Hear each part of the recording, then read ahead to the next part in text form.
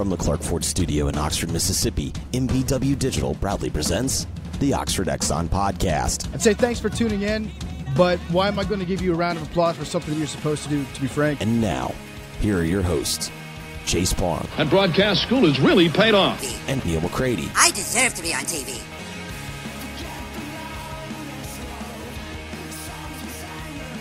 Welcome this Friday edition of the Oxford Exxon podcast. As we give you every single Friday, it is an audio recording of our live show that happened at Funky's on the Oxford Square last night. Issac Gross, former Ole Miss defensive lineman, 2012 to 2016, joined us. So uh, hang around. We talked to him a good bit about his career, certain games, certain seasons, and then also during recruiting, how he thinks a couple changes could have impacted his uh, his football future. So a lot of good stuff with Issac, great guy, joining us there on stage at Funky's last night.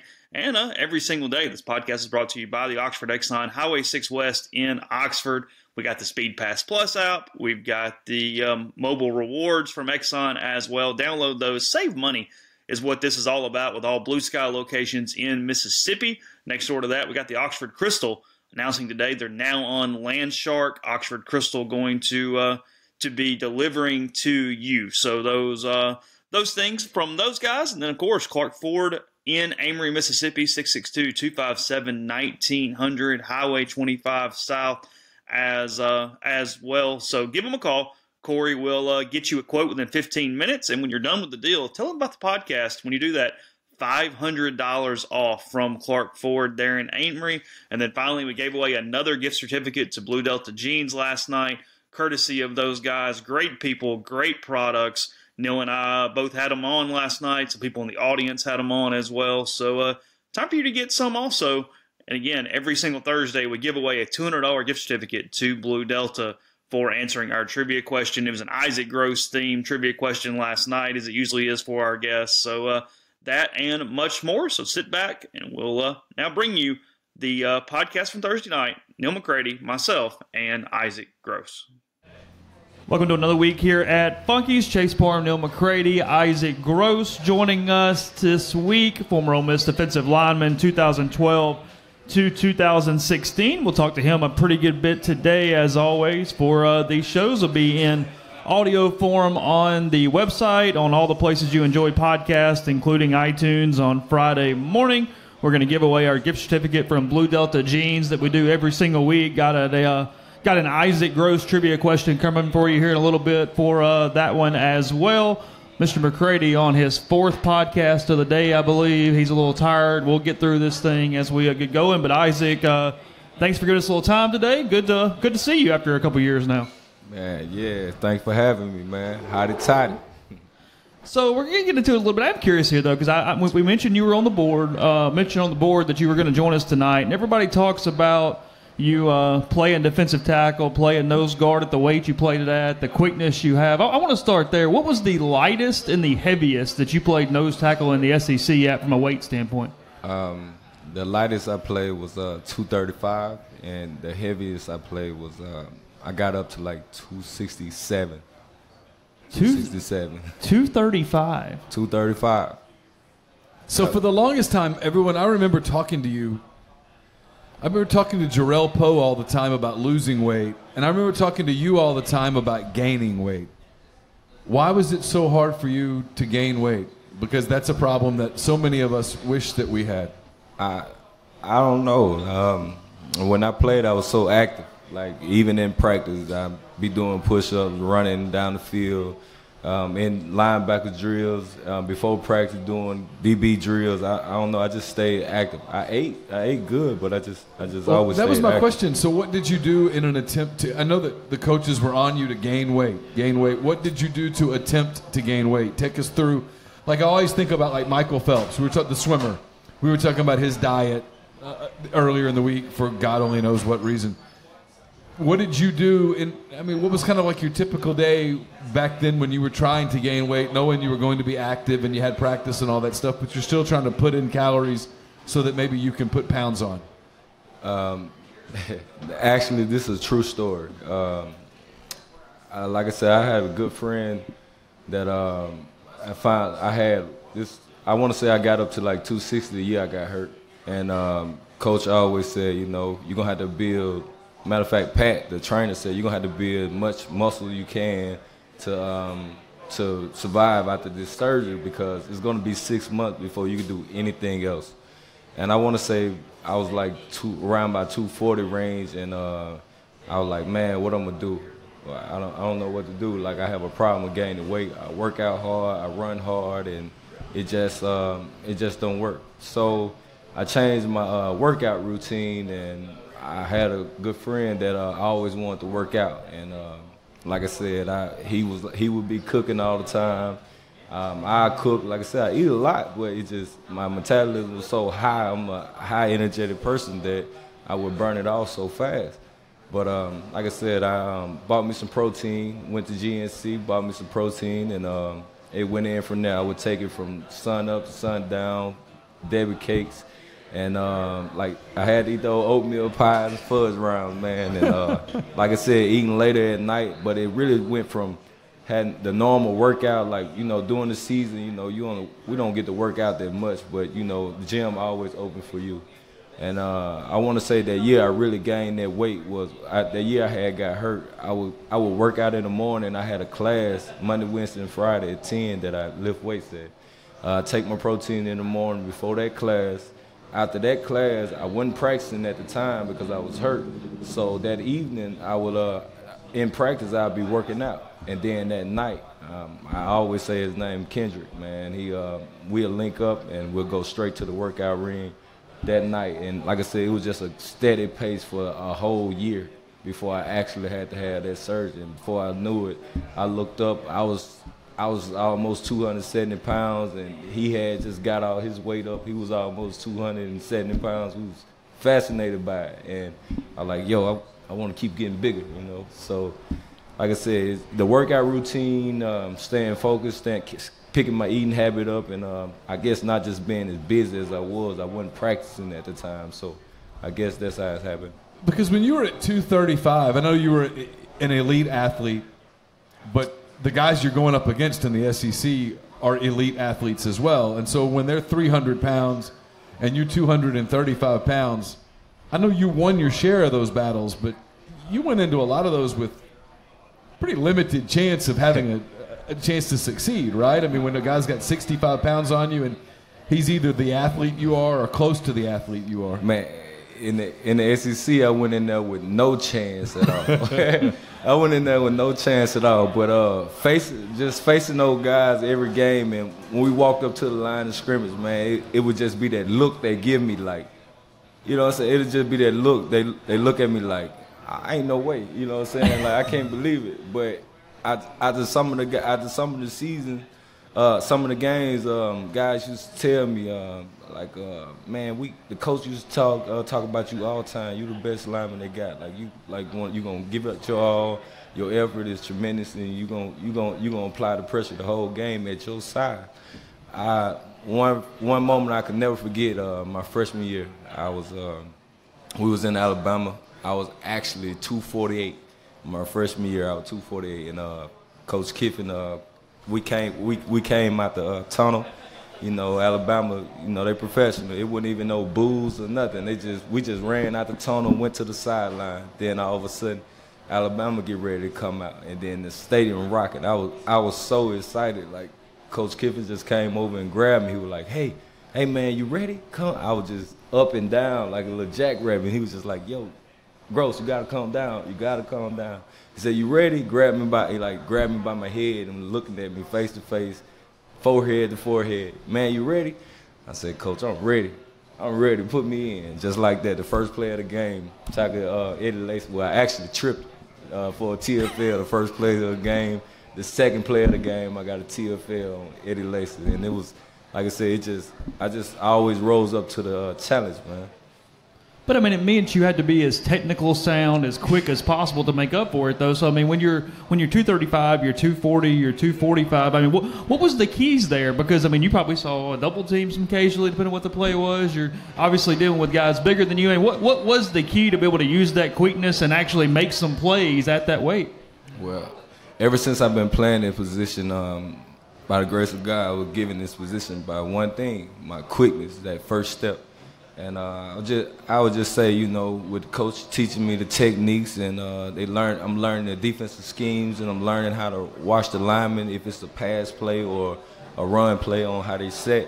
It just it, it all made sense to me so early. So that quickness, that it's just like a fight, you know. If if you hit first, you know, if you don't want to get hit first in the fight. So if I attack first, I always, you know, felt like I had a pretty good chance of winning. You know, if I attack this big guy before he get to moving, he'll never be able, you know, moving so quickly on, he'll never be able to establish his foundation.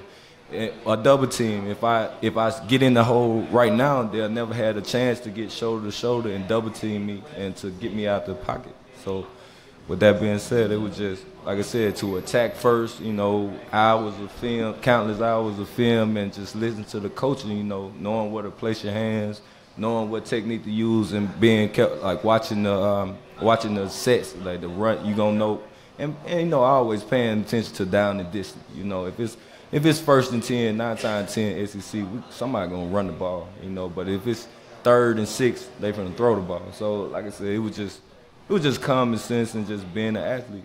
I want you to take me through it a little bit. We're going to go through some games, some seasons, some different things. I mean, I, I remember seeing you, Neal and I, from junior days when you're probably in 10th grade at South Panola. You've been around for years. I don't necessarily remember it. I think it was kind of a foregone thing. You were going to end up at Ole Miss during uh, the recruiting and stuff. So they're going through that 2 and 10 year. That 2 and 10 years, your senior year of high school, when you're committed and you're waiting to get there – were you solid all the way through? What kind of you thinking about the program, and what, what, what's on your mind at that point? As it looks like this thing's unraveling under Houston Nutt. Uh, before before I can say how solid I was, I can uh, I go back to the athletes that were made at my time during uh, my years at in high school. Mm-hmm. Um, me, Nick Brassell, Antonio Conner, and Tamario Strong. A lot of those guys, we all made a pact that we, we were gonna follow each other no matter what. And it started with uh, Nick Brassell, and uh, I can remember that two and ten season. It's raining and Alabama blowing us out the water, and only person you really seen that game just making plays, making plays, making plays was Nick Brassell, and I was like, yo, that's that's my family out there doing that, and. Uh, the stands was getting empty. The stands, everybody was leaving. The rain coming. Uh, you know, noticeable scenes like the Sanquez and uh, Trent Richardson play. You know, things like that were happening during this game, and all I could see was, you know, Nick Brassell making no plays. Like, he from where I'm from, and like that pack is still strong. So that two and ten thing, it was it wasn't never about you know I'm, I was a rebel, no matter what. You know, the guys before us that came, the um, parade, the John Jerry, the Jamarca Sanford, Eddie Strong, like it was just a it was just a pack, you know, and it it was it was just I always thought, you know, I, I wanted to play for the Rebels, you know, and there was always the team first, you know, there was always the head team first. But uh, before I could just talk about how strong it was, my heart was I was sold. I was uh I was going to Bama, like I was actually going to Alabama, and uh, Coach Saban told me where he was going to play me and um, I felt like that was gonna be the best fit because I would have never, I would have never ever had my hands in the ground again if I would have went to Alabama. What do you want to do with you? He was gonna stand me up outside linebacker, defensive end. He said, uh, "My body type, the way I'm gonna grow." He said, "You'll get bigger, but you're not gonna grow into an NFL defensive tackle. You're gonna grow into an NFL linebacker." and uh, out edge rusher with your first step. I don't. He said you're not going to play nose guard, which at the time I was 270 pounds and my my senior year in high school. So he he just always told me that I wasn't gonna uh, I wasn't gonna play nose.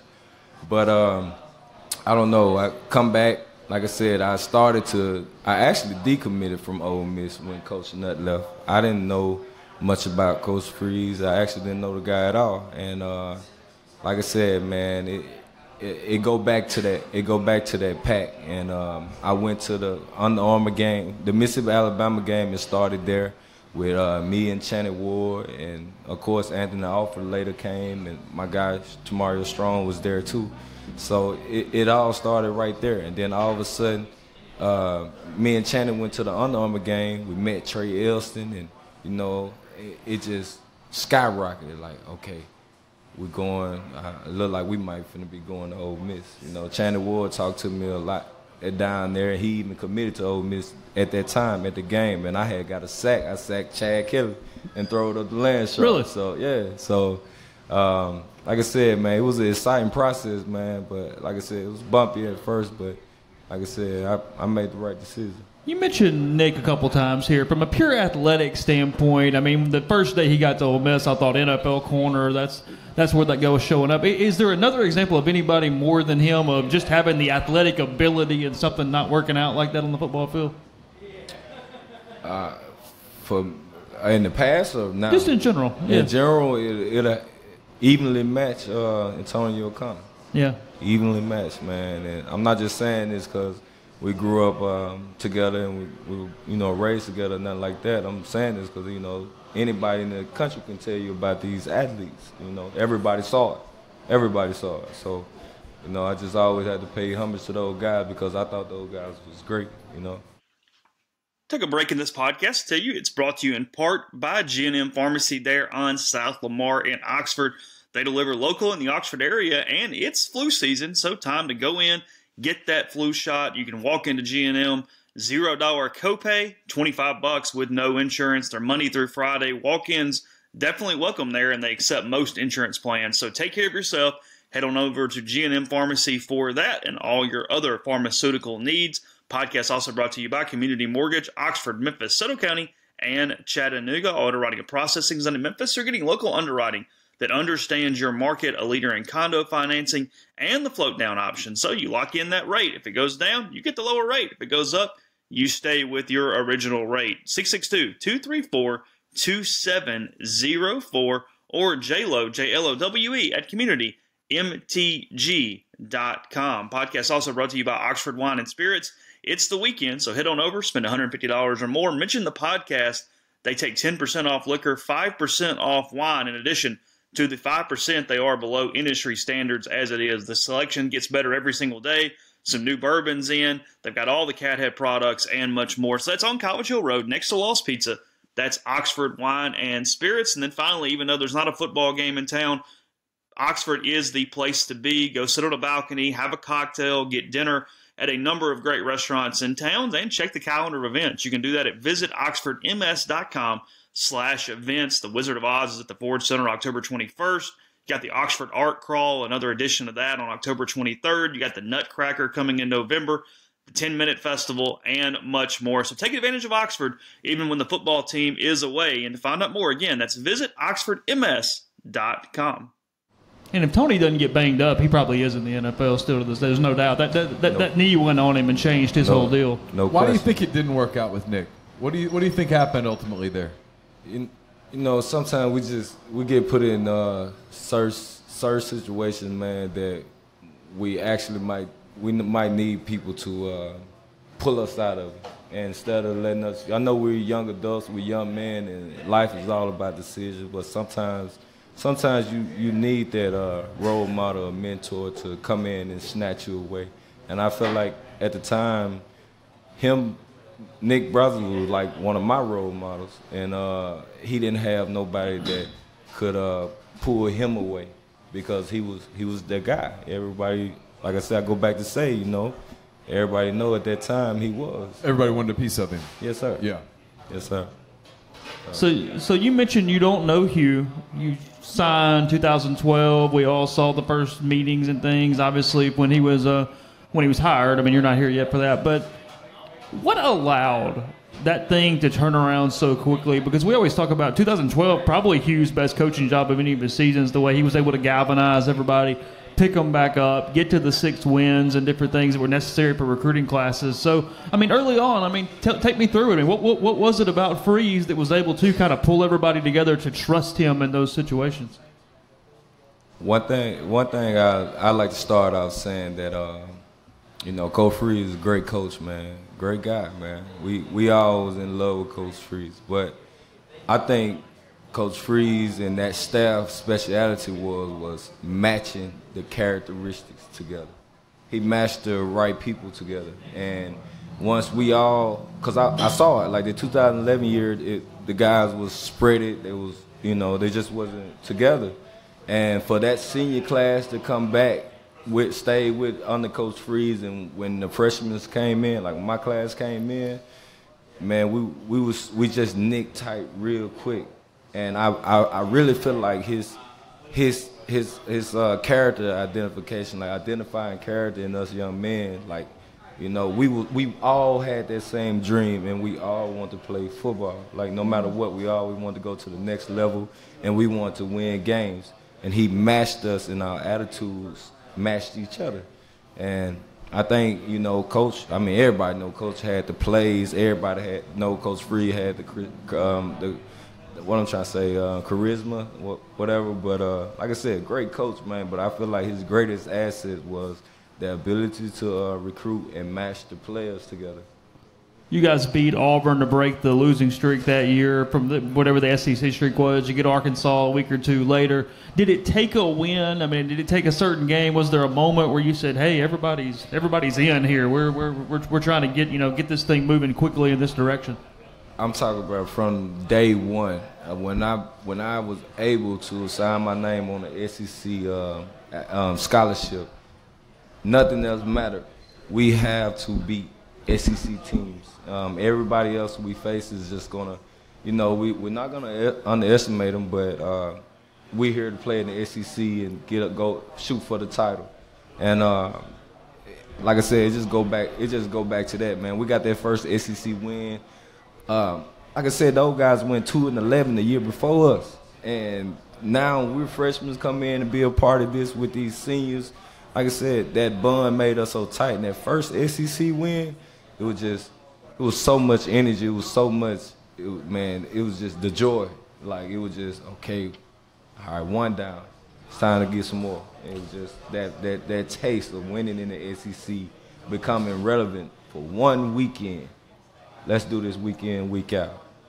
What what sticks six years later with you from uh, the win over Mississippi State? They come in, they're already bowl eligible. You guys needed that one to get bowl eligible, and Donte goes off, think scores three touchdowns that night. It's when Freeze's play out of love pregame speech, and everybody still remembers a few years later. Now, what what sticks out to you from from that game that, for a lot of reasons, seems to be pretty important in the elevation of the program? I think I think for a while, the second half myth stayed on us, and for the first well on Ole Miss for the longest, and my first year and like I said, seeing those guys who have been here to continue fight and to actually not give up. Like, like I said, I go back to this. It was a two and eleven team before, and watching everybody do their job and playing at a high level like we're supposed to, just just made just made everything in that game. And um, Donte went up and made that play, man, that game, and it was just like, we here. Uh, six and five season, we here. It don't it don't matter. Like we we building now, and uh, like I said, it just it just was time. It was time. I mean, we we been we had a win one week, and all of a sudden we'll lose the next week. Nah, man, it, that's we getting rid of that Ole Miss. We going back to the great Ole Miss, and I, I guess you know, like I said, Coach, Coach Freeze stood firmly on that, and he preached that, and that that's what he that's what he wanted for us. That's what he wanted for this state, and I was just like a you know a little kid opening up Christmas gift because I'm from Mississippi, and it was just, I was just sold no matter what. It's about Mississippi and bringing Mississippi to the top of the food chain. I'm all for it. Yeah, for you guys, Birmingham probably felt like the Rose Bowl for that first bowl game, didn't it? I mean, you know, Pitt had been there a couple years in a row. It looked like they weren't they weren't real crazy about it, but y'all are all in that week. Man, you know, I almost had an interception that game. Like every year, Coach Kiffin could tell you every year that I was able to play in a bowl game. I was trying to get the MVP of the bowl game. I wanted the MVP of the bowl game so bad. Like the defensive MVP, I wanted it so bad, and I tried. I tried every year. I end up tying with somebody. Uh, just like the year we played Georgia Tech, I tied with DT Shackelford. Um, the year my freshman year, I had I had like two I had like two um, batted balls. I had a pass deflection, uh, forced fumble, fumble recovery, and like six tackles like four of them solo. So like I said, it's like that bowl game. I always, I always tried to get the MVP. I wanted that trophy. Like I accolades, I love them. I just, I, you know, that years from now, I just want a lot of things on my wall that I can show my kids that I did. You know, that means something to me. All right, since you mentioned bowl games, and we'll go back. We'll go back into the 14 season a minute. But since you mentioned bowl games, what what happened in Atlanta? did did you guys go out the night before and just stay out till four or five in the morning? I mean, what happened that that night before? Because you guys hardly showed up for that game, which was completely un, unlike that I- team all season. I don't I don't understand what they're saying that I always saw Ole Miss players out all night. I, man, that that was hogwash what Coach Freeze would like to say. That was hogwash. But uh nah man, it's man, okay, I tell you what, I remember that night. yeah. I remember that night. That night Georgia Tech, we was in Atlanta, man. We finna play TC, the Horn Frogs next day. Bro, we was so happy we was in uh we we finna play in a big New Year's Six. Yeah. It, it, well, it wasn't a New Year's Six bowl. Yeah, yeah, yeah, it was a But- Peach bowl, but we, yeah. was, we were so happy. It was a big bowl. We were so happy, man. Everybody was so excited. And I wouldn't say we was out all night, but we was in the hotel up like the the energy cause we couldn't stop. Like we was just we was just overly excited. Now, it might I, like I said, I can't I can't I don't know exactly where did they get that player was out all night. Right. I mean they even said some players with the Atlanta Hawk cheerleader. Like I was like, I don't I just don't get it. Like where did that come from when I know all of us, majority was in the hotel, if not sleep. Like I said, the QBs were there, the O line was there. Uh, Don't forget now, we got we got we gonna have uh, freshmen there that are red shirt. They gonna go have fun. And at the time, some of those freshmen became big name players. You know, so um, like I said, I we that when we played TCU, man, it's like TCU they hit us in the mouth early. Like Yeah. I remember jumping off the ball. I'm talking about I'm in the backfield just like that quickly. I'm finna give me a sack. Trevone Boykin by himself. He just dished it off. Like and it, it was it was like it, they just hit us in the mouth quickly. It wasn't that we wouldn't the plays wasn't called. It was just we was totally unprepared. Like That was such a roller coaster of a season. You guys get the huge win over Alabama. That was probably the program-defining win at the time. You you you beat uh, Texas A&M a week later in College Station. You blow out Tennessee at home. You have that crazy game. I go to crazy. It was just an intense game in Baton Rouge where you just couldn't score and you lose that game. And then you have that back and forth Auburn game where Laquon gets hurt. You get blown out at Arkansas. Everybody thinks they're done. You beat Mississippi State. It was just such a weird year. It was a, I mean, highs and lows. There was never any middle ground when you look back on it, right? I mean, it was the highest of highs and the lowest of lows, and kind of nothing in between. I, I I don't care how good our season was or how bad our season was. We go LSU and Arkansas. For some reason, the referee hates us. uh, LSU game, the referee tried to put me out.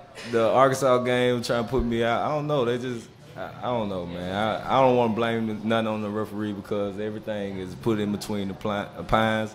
But sometimes in those games like that, man, but where it looked like you know we should have won, and things just get out of hand all of a sudden, like come, eh, some, it's a 12th man out there, you know, and it, it might be a 13 with a back judge, a judge and a corner judge that ain't seeing the right thing. You, you guys saw all sorts of crazy that year. I mean, Vaught-Hemingway's never been crazier than it was the day of the Alabama game, and Tiger Stadium was nuts that night. What's it? What's the difference between being at home in one of those games and being in a white jersey on the road in one of those games?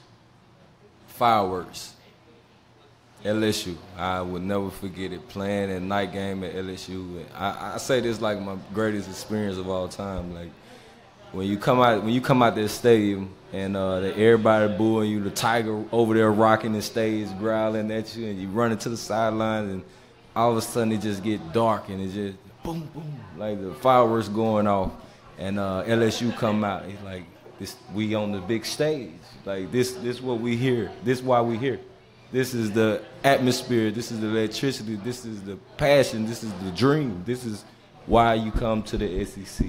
And this is why you choose the schools you choose. And like I said, playing at home was always great because you got a, a sense of urgency to protect. You know, you don't want nobody come in here and steal no dignity from you. You don't want to lose. You don't want to give up anything. So playing at home is always something that is something that is so serious. But I, I can never forget, like Alabama was a great place to play. Their, their fans are professional. They got loud when they needed to, not just all the time. LSU is chaos. 24 7. I, I don't, I don't know what happened. Uh, I want to say, uh, what's his name? Aquaman was with um, Arkansas when we played them because it always rained when we go to Yeah. when we go to Arkansas. It's just like somebody just cut the sprinklers on and just cut the faucet on and don't never uh, cut it off. It's just like, come on, man. What I remember about that game, Issac, was it was so cold and it was wet and it was pregame, and uh, I looked down on the field and you guys all looked miserable, and they were jumping around crazy, and I thought this is not going to go well. You just had that feeling, you know what I mean? They, they one of those days where you could just tell in pregame that doesn't happen often, but I- it, it happens occasionally where you just see it. man, I'm telling you, it's like, first of all, it was cold. It was then- really cold. It was the coldest rain I can ever remember. I mean, you, you being a football player, you prepare yourself for anything, man. But like I said, it was so cold, and it was like it was sprinkling. Then all of a sudden, man, we come out, we come out of the um, tunnel, man, and it's like who who did that? Who cut that rain on like that? It just got bad. But I could let me tell you about that Arkansas game. I would never forget. Coach Kiffin said all week long. Do not miss this sack. It was a, I forget the name of the formation, but it's just a center and a quarterback, and the rest of the team is over there. It was it was me, the center, the quarterback, and uh, I think it was a linebacker behind me. All right, one on one, you'll never beat.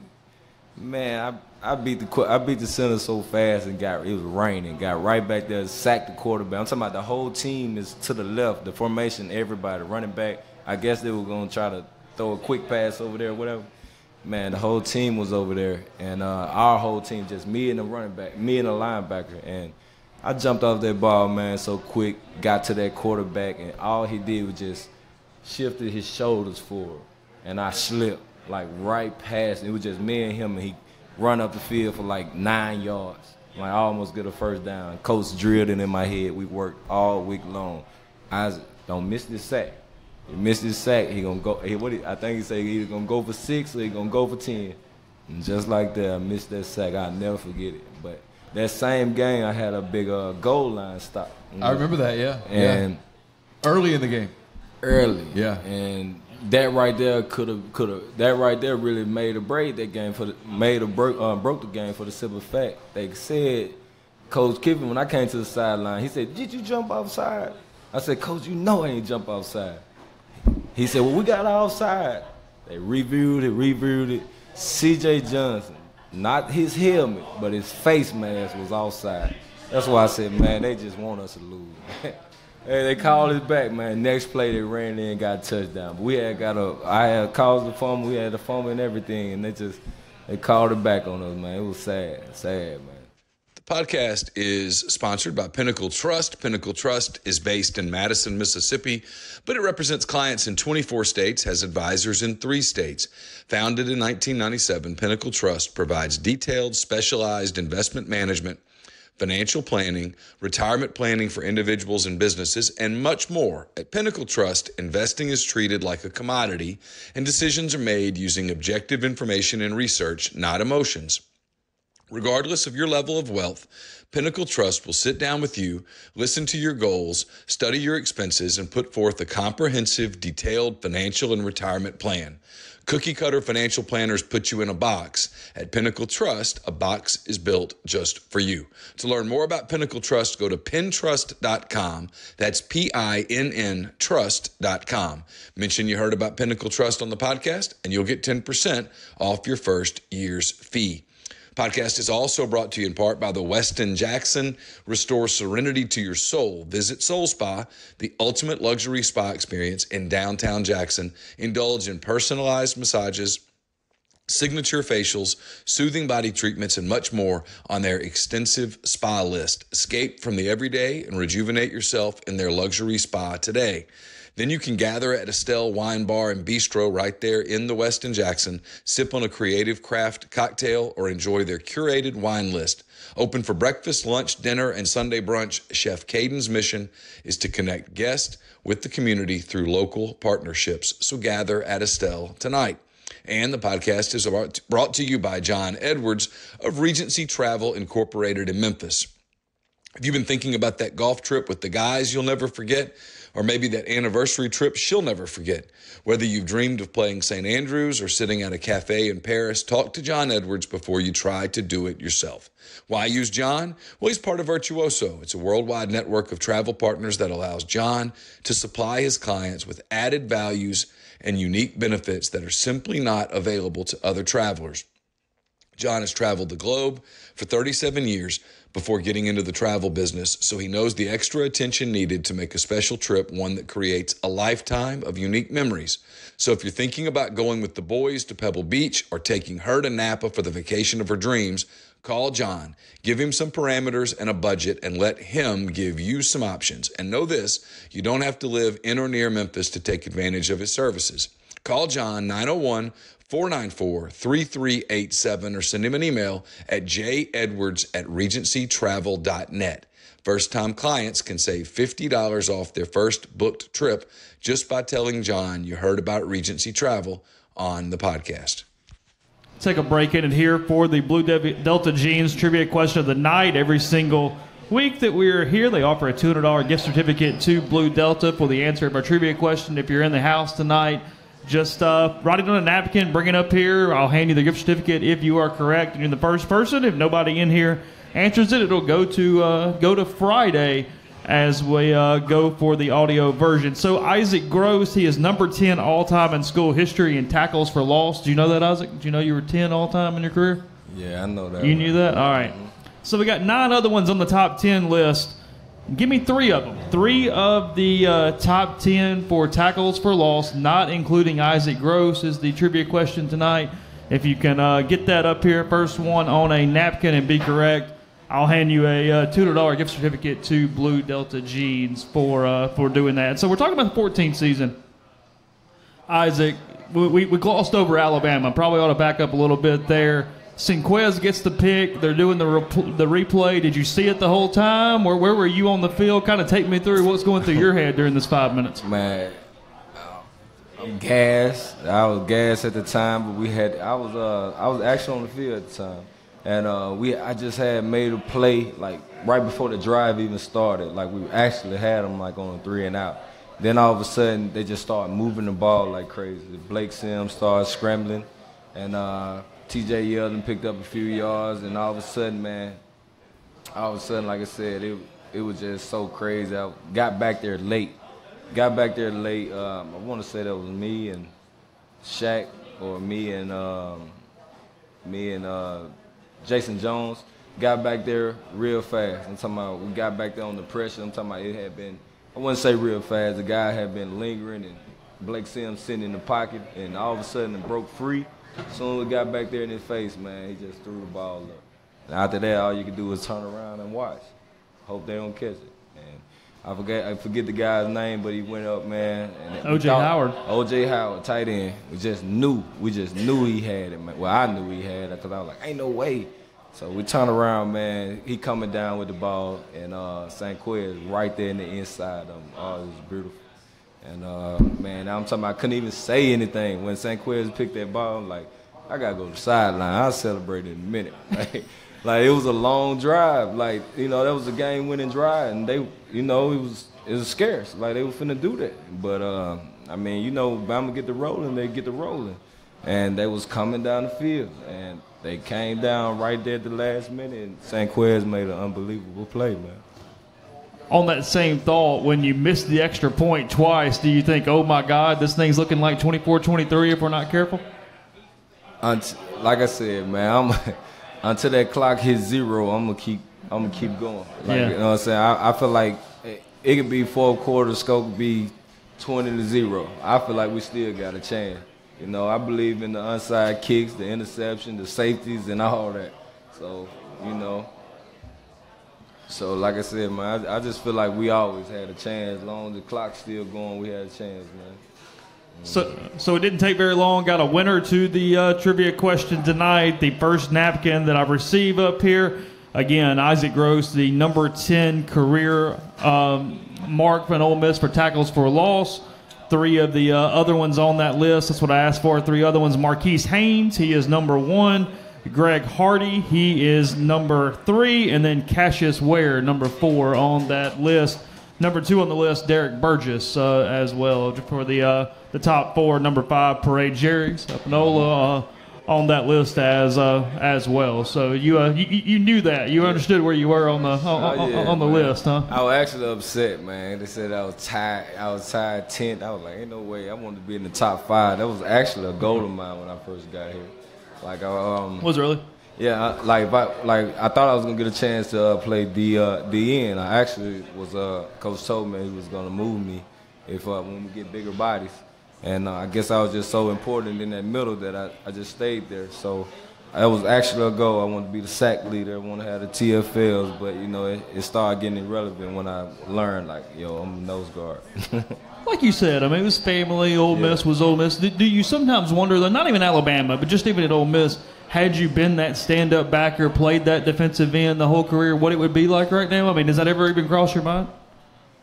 Man, if I would have played defensive end, I'd be in top five. I would have been top five first round pick, man. That's that's what I always wanted to play. And when I started playing football, I actually started out playing Mike linebacker. And when I got to junior high, I started playing defensive end. And I had I had already, you know, learned the moves. I knew how to swim, I knew how to dip, I knew how to bob, swat. Like I was ready to play that position. Like even in practice, like I would be one on ones. I wasn't losing the one on. I went two. I want to say I probably went two years at Ole Miss without losing a one on one in practice until like I started suffering injuries, and of course, Thompson was was great, you know. But uh, like I said, it was just I just you know if I get the chance to still pursue this dream now, you'll get to see it, you know. So, were there ever discussions about moving the end? I mean, what, what, what- was sort of that like over the course of the four years? With that being something you wanted to do? I, like I go back to say it, man. That's, that is exactly what I want to do. Yeah. Like I, uh, I want to play defensive end so bad. Like that's where I thought I was going. Uh, that's what I actually was recruited as. But uh, like I was recruited as a weak side defensive end. But um, the type of defenses we ran, I guess, um, like I said, the type of defense we ran, the penetration and the blitzing and all that, kept the, you know, me being a small guy, the linebacker stayed free. They just had to make a play. So with that being said, man, I felt like I was a big part of our defense and doing the penetration because I was in the backfield every play, no matter what team we played. So um, like I said, I always, I, once I settled down and uh, and thought about it, you know, in college, you're gonna play where you need it, and uh, in the NFL, you get that chance, you're gonna play where you best at. What do you think about the program today? I know you were around Matt Luke a lot during your your your tenure at, at Ole Miss. He was the offensive line coach. What do you what do you sort of think about where the program stands today when you look at it as an alum? Um, today when I look at the program, I I just think, man, I be like, man, you know, it ain't the coaches. Like I look at I look at Coach Luke, I look at um, Coach uh, Coach Crime, and I be like, man, those guys there, that offensive mindset in Coach Luke head and that defensive mindset in Coach uh, Coach Crime head, they actually they actually one in the same. They actually approach the game the same way, and uh, and and- and I sit back and like I said, when I talk to some guys here, and I be like, man, it ain't all bad until you see the score. That's when it's bad, and. Uh, like I said, man, it's, guys just got to step up. You know, we set a standard here, and majority of that standard came with a, um, you know, land shark is coming with an attitude. You know, it's the attitude of how you be a land shark or how- how you be a rebel, NW or whatever the national wideouts are. But uh, it's the whole attitude of you know what you want to be, and um, I feel like it's good chemistry here, and um, you know I feel like the toughness is here, too, but the will and the want to of guys actually want it more than anybody they play and rising up to the guys that they facing in the SEC or anywhere that um, will be much better off. Biggest thing, the guy we got a lot of injuries, and just because someone you know it's football, it's, it's gonna happen. The next man up. Those um, the guys who's up now because of the key players are out. Because on defense we got a lot of key players that are down. So I, I really feel like these guys just you know I don't care you're a freshman, I don't care you're a sophomore. You ain't you don't have these many snaps. You have to get out there and execute. You have to get out there and get that job done. You got to be well prepared no matter what. Ole Miss plays Arkansas in Little Rock Saturday night. It's been a weird series the last few years. The fourth and 25, the, the blown lead last year. As a player, when you're in a game like that, I know you don't think about that stuff as you get ready for the game, but as the game unfolds, do you do you catch yourself thinking about here we go again when a game gets kind of weird in a series that's been weird? I, I I honestly don't know what a player won't think like that. But as a player that's locked in and here for the team and uh, you know going to do whatever to win, you'll think about it, but you won't give up. You'll get up off you'll get up off that bench, you'll get up off that knee you taking, you'll put that water bottle down and you'll go encourage, you'll go enlighten somebody. Hey, it's okay you dropped that pass. Hey, it's okay you didn't get that many yards. Hey, pat the QB on his back a few times. Pat the D, D lineman, linebackers on their back. Hey, go make that play now. Wrap up. Hey, defensive back, break the ball up. You know what I'm saying? So, with that being with that being said, man, you when you when you in those situations and the game is start to turning, it's it's, it's the fake. You know, you got it. We we a four quarter team. You work out all summer long for this, all fall for all spring, all fall for this. So you never quit no matter what. If you quit on your team, you, you shouldn't be here in the first place. You mentioned the fourth and 25 real quick. I, I know that was the year that you had the neck injury. You weren't on the field. You uh, at the game though. I mean, in the locker room and different things. I mean, what that thing ends, and that, that, that team rebounded so well. They beat LSU up really well. They they go to Starkville, get the big lead, hold it, end up in the Sugar Bowl. What allowed that team to bounce back like that, though? Because it did. It, it seemed like that thing right there could have gone off the rails after the loss to Arkansas. That's crazy, man. We lost. I, I just go back touch on that real quick. I was on the sideline, and uh, I remember Don, Dom, uh, one of our uh, strength guys, had to grab me because offense, uh, uh, one of Arkansas players ran to the sideline, was you know like picking at us or whatever, and I, I shoved him shoved him to the ground, and Dumb came and uh, really, grabbed. yeah, I was, I was furious. I hate Arkansas, you know, not in that manner, but as a football team, Uh-huh. I hate. I don't, I don't like nobody we play. You know, I want to win no matter what. I don't care who he is. But uh, with um, I, the guys just you know that play like you know you know that when Kim Deasy came into his realm. Kim Deasy started to come into his realm. That um, Treadwell took another step. You know, and like I said, Breeland Breeland Speaks had woke up, man. Uh, DeMarquis Gates had woke up, man. It was like, you know, and Chad Chad Kelly, you know, it was like we always had the pieces, but it was just now deciding to use it, deciding to okay, I'm I, coach, I, I give up, I'm buying in. Everything you say, I don't care what it is, I'm gonna do it. If that's how it's supposed to be done, we're gonna do it. And I felt like the team caught that attitude after that fourth and 25 and they just lit into their and everybody we played after that and it just was a non-stop process and then being the best team You mentioned guys being focused up for certain teams, not liking certain teams. Cody Prewitt or C.J. Johnson, who was more psycho the week of Mississippi State between the, the, the, the two of those guys? CJ Johnson, hands down. CJ could not stand state for nothing. Like I'm talking about it, to the point you can see uh, after every play you can see the tears in CJ eyes. Really? Like I didn't even.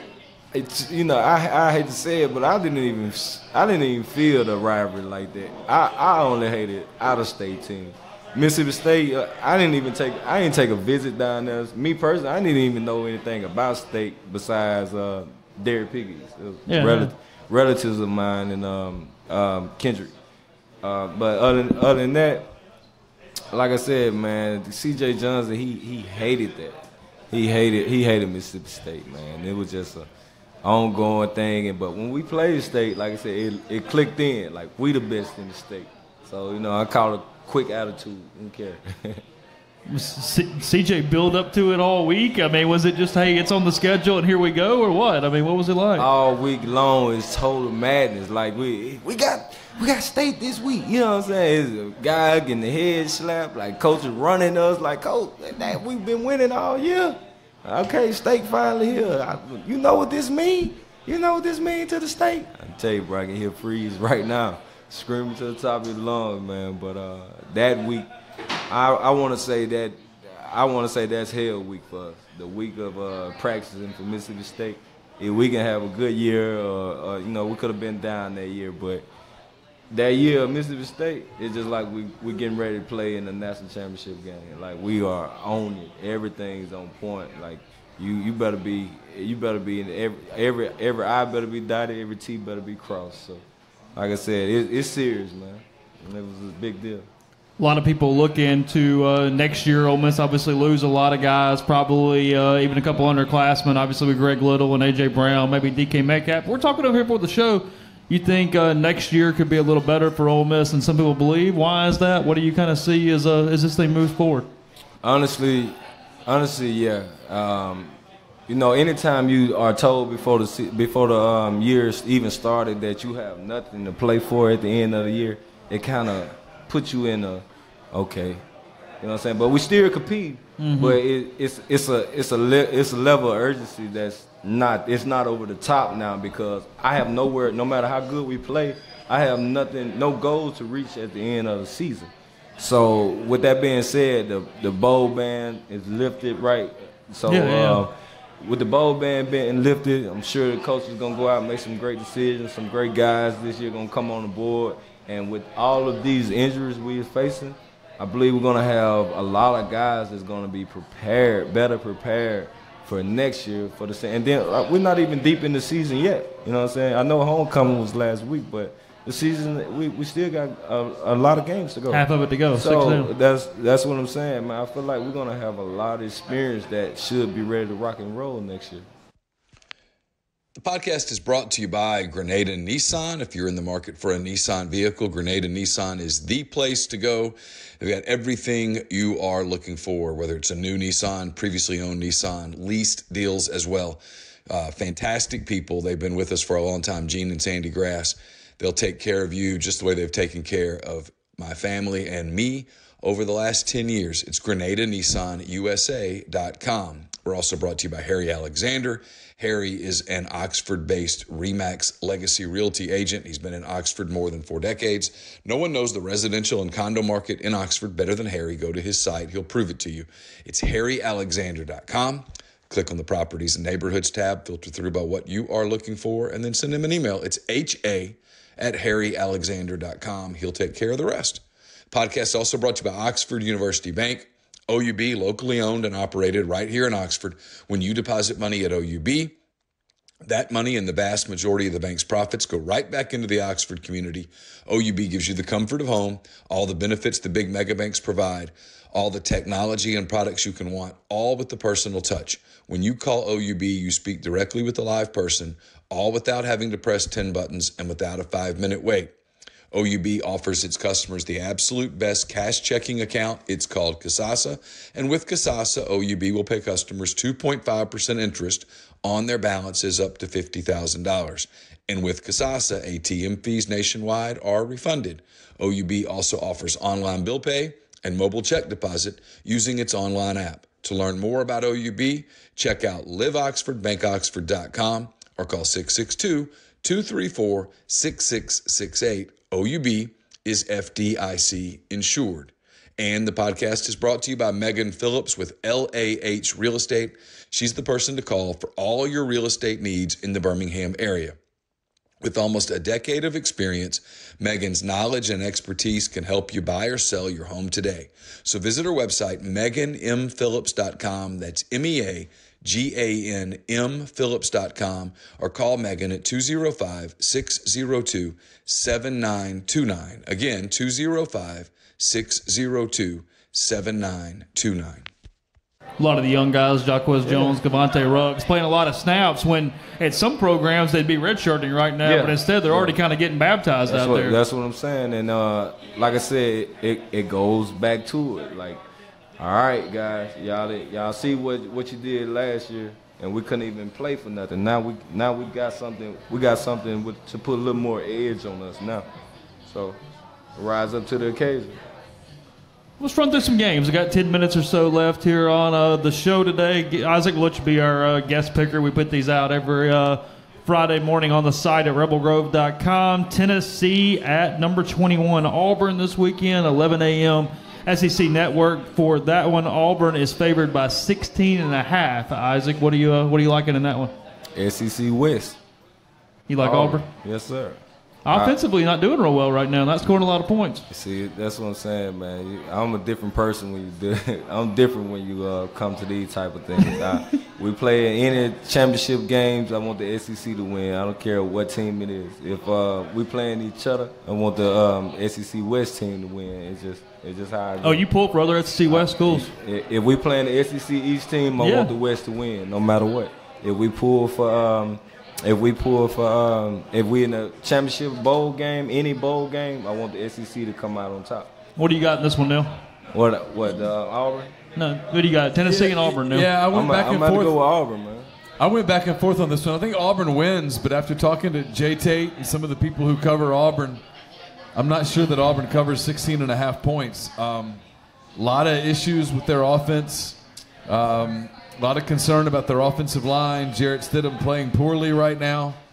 So, like I said, Auburn wins, but there doesn't seem to be a confidence around that program that they can cover that big of a line. Yeah, it feels a little closer. Maybe we uh, we think moving to this one. I've got Tennessee as well, at least covering Auburn winning, but Tennessee staying inside that two and a half touchdowns.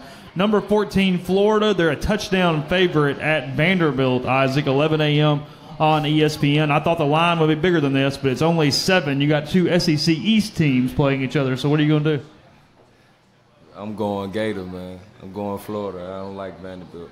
For the simple fact, I You like Dan Mullen more than Vanderbilt? Nah, I just like Florida over Vanderbilt. Man. All right, Florida- Vanderbilt was a spoiler for us. But, Vanderbilt uh, was kind of a pain at times. Yeah, weren't they was. But um, nah, I, I believe I believe Dan Mullen getting them guys to um, clicking down there, man. And uh, Florida actually got a good team. And uh, so with that being said, I, I think I'll go with Florida with this one. Yeah, this feels like a trap line to me because I look at it and think Florida easily covers this. I know they've had some emotional games. Maybe they're due for a, a letdown, but and it's 11 o'clock on the road and all that stuff. I just think Florida's significantly better than Vanderbilt. And they win by a couple of touchdowns. This feels like an easy game to me. Yeah, I kind of agree with that one. So here, I know which way Issac's going to go, but number two, Georgia, they are seven point favorites at LSU. 2:30 CBS, not a night game for LSU for once in a while. Um, here's a little stat for you: LSU hasn't lost a home game in October since 2009 against Florida. They uh, they've won 20 in a row at home in the month of October, which means absolutely nothing this week, as Georgia's going to win this game. Yeah, I, I kind of contradict myself sometimes, but uh, yeah, I'm, I'm gonna have to go with Georgia over LSU. I'm not an LSU fan Yeah. at all. Like uh, no. So it's SEC West, not named LSU. Um, in some cases. All right. But uh, not against Georgia though. Um, I like Kirby Smart. I, I like I like the identity that he has brought to the Georgia Bulldogs. And um, with that being said, you know, I, I, I actually pick uh, Georgia to be the personal favorite of the East again. Was Kirby one of the guys that recruited you? Yes, sir. You, so you know him pretty well. So you, so you like him? I mean, Yeah, what, what was kind of impressions of Kirby? He's straightforward, man. He matches he matches Coach uh, Coach Saban energy. I mean, you think the guys had the best game of their lives, then you hear the interview and it's like, wow, like Coach, seriously, they did good. Coach, give him a chance. but uh, yeah, I like his uh, I like his attitude and I like his approach of the game, man. No matter what. Number 22, Texas A&M. They're minus two, only two-point favorites at South Carolina. Also 2:30. That's SEC Network. Carolina coming off the a bit of a miracle win against Missouri. If they got bailed out by the rain delays and different things last week, so Jimbo Fisher and A&M at South Carolina. It's A&M by two. Issac. That uh that first game Texas A&M play against Clemson really really woke my eyes up with um, Texas A&M this year. I'm gonna go with Texas A&M. You like Texas I- A&M? I, still like them. I'm gonna give uh what's his name? Is it Hill? The QB, the quarterback. What's the quarterback name? Uh, Kellen Mond now Mond, is at uh, is A&M. Yeah. Okay, and I and they got a receiver. They got a receiver. I feel like is pretty good too. Yeah, they've had a lot of receivers. Mike Evans, Christian No, Kirk. I'm they've talking. been. I'm talking about for this season. Oh, this yeah. season, they got a, a receiver I, I really like. So, what you uh, got, Neal?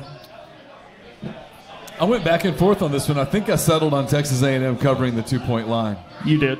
Yeah, I, I, I started to go with Carolina, but I, I think all that's really left for Jimbo in year one is to get a big road win. This feels like this is where it happens. Okay. Missouri plus 28. They're at number one Alabama, 6 o'clock, Bryant Denny Stadium on E ESPN. They're going to win, Issac. There's not even a doubt about that. But are they going to win by more than four touchdowns? Is the question. Man, that's, hey, Alabama, they might put up five touchdowns. Oh, Missouri, Yeah, playing Missouri. They going to blow them out? They're gonna blow them out, man. They're gonna blow them out. Like They're the- gonna blow them out, but they, they keep taking Tua out of the game like one series into the game. I- He hasn't played a snap on the fourth quarter yet. Yeah, game is over, man. I mean, it's, that's no discussion. Go on. If oh, look, that's another thing. If Ole Miss don't beat Alabama, I don't want nobody else to beat them. Like, keep on go, doing good for the, the SEC. Yeah. we need y'all. We need Bama. So they they they make the, they make me proud. Okay. I'm I've actually got Missouri covering this because I think Drew Lock's good enough to score a couple touchdowns at the end and make it sort of close. get a foul. Alabama's going to win, but Yeah. just make it sort of close. Yeah, what did I pick? I can't even remember. You picked the same thing, I Yeah. think. You got 49-24 on this Yeah, one. Saban doesn't seem to have a. he- He doesn't seem to be interested in covering the line this year. Maybe he's mad at the fans for leaving early, and so he's making them lose money. But he's he's letting games go from 50 points to 35 points in the fourth quarter. And, and Lock's good. Lock, Lock will score some You points. see how you, you see how you're saying he allowing that to happen? Like, He come is. on, man. That is he is. man. I, on. I'm telling you, if they I'm could, a fan. They I'm could fan. go win hundred to nothing right now if they wanted to. Of They- course. they're, they're taking Tua out in pregame. He's not. They're not even letting Tua dress. Nobody, hey, that- Bama, man. I, I'm not gonna say the RT word, but go ahead. All right, final game, Ole Miss minus six against Arkansas, uh, War Memorial Stadium, Little Rock, 6.30 p.m. for that one. I will ask you this, Issac, because you played both places. Little Rock in 2012, Ole Miss 7 and 7 all time in Little Rock. They've only won in Fayetteville twice since Arkansas joined the SEC, those in 2000 and 2008. When you're in Little Rock, it doesn't have the same environment. It's a much more stale, stale thing. For the players, what's the difference between Little Rock and Fayetteville? Um, I guess it's I guess it's closer. I guess it's closer to home and um, it, Atmosphere, though, the, the- the, better? the atmosphere a little bit better. It ain't, it ain't all as crazy as uh, Fayetteville. Fayetteville, it is it's a great place to play too, man. But it's I don't think the rain is just as crazy in Fayetteville as it is in Little Rock. So I feel like Little Rock would be a better place for us to play. But it don't matter, man. Wherever we play, home or any away games, man, we gotta go out there and put up points. Guys gotta step up to the occasion. And let get us an SEC win. I've got Ole Miss winning a close one this weekend. I think it's going to be crazy. It's going to be high score. and There's going to be some turnovers. It's going to look like a lot of Arkansas Ole Miss games we've seen in years past. But I do think Ole Miss one pulls this one out in uh, in Little Rock, Mr. McCready. Yeah, I've got the same thing. I think it feels like it's Ole Miss's turn to win, but I'm not prepared to lay six points. These games have been so crazy and so close the last few years that it's it's almost impossible to think that it's not going to be more of the same this time around. Yeah, that's that's I feel you on that, man. But uh, guys, get out there and keep their eyes open, man. Make plays the way they should, man. I, I feel like we're gonna be okay, man. Um, Arkansas, we got to get this win. They've been a, a real thorn in our backs for the longest, man. And it's it's time to get this win, man. I'm calling it, you know, hotty toddy all the way. Ole Miss trying to get to five and two on the season. Remember, uh, Ole Miss baseball playing Delta State Saturday at one o'clock as well for the new fall games that are going uh, going on. We'll have coverage of all that at RebelGrove.com. Have this up on Friday morning as well in the audio version for all the places that you guys uh, enjoy your podcast. So for the last 55 minutes or so, enjoy, really appreciate Issac joining us tonight here at uh, Funky's on the Square. They'll have the game on the TVs here on Saturday, 6:30 against Arkansas as we wrap up. So for Neal, Chase, Issac, appreciate the uh, the help tonight, and we'll talk to you again soon.